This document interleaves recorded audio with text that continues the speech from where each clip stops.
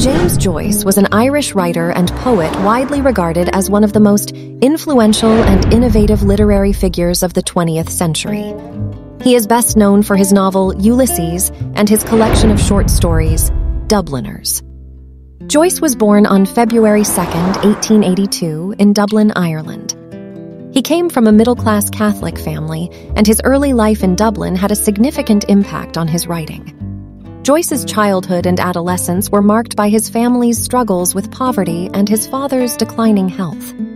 He received his education at Jesuit schools and later attended University College Dublin. It was during his time at university that Joyce became involved in literary circles and developed a strong interest in literature and writing. He initially intended to study medicine, but soon realized that his true passion lay in writing.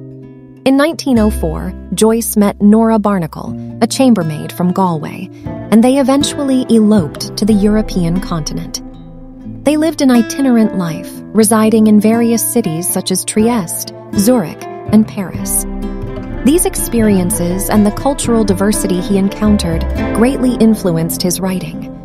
Joyce's first major work was Dubliners, a collection of 15 short stories published in 1914. The stories depicted various aspects of Dublin life and showcased Joyce's skill in capturing the nuances of ordinary characters and their struggles.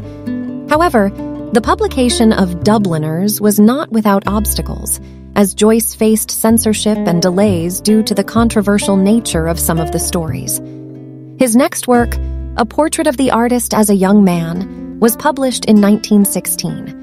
It is a semi autobiographical novel that explores the early development of an artist and the challenges of finding one's identity in a conservative society. The novel showcases Joyce's experimentation with language and his use of stream of consciousness narrative.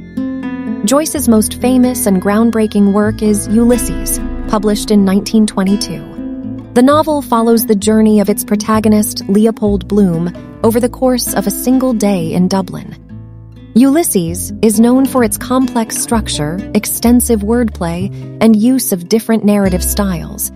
It is considered a masterpiece of modernist literature, but its explicit content and challenging style initially led to its banning in several countries.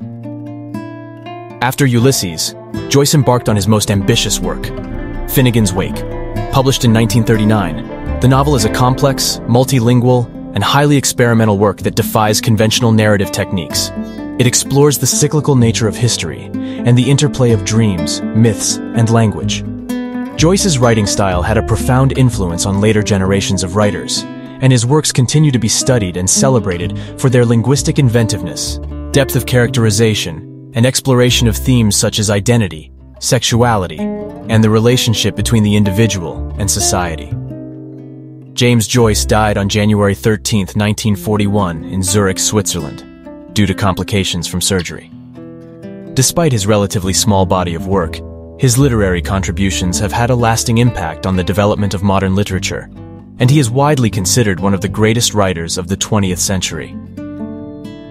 Thank you for watching. If you enjoyed this video, we would greatly appreciate it if you could take a moment to show your support. Please hit the like button to let us know you enjoyed the content. Additionally, subscribing to our channel will ensure that you never miss out on our latest videos.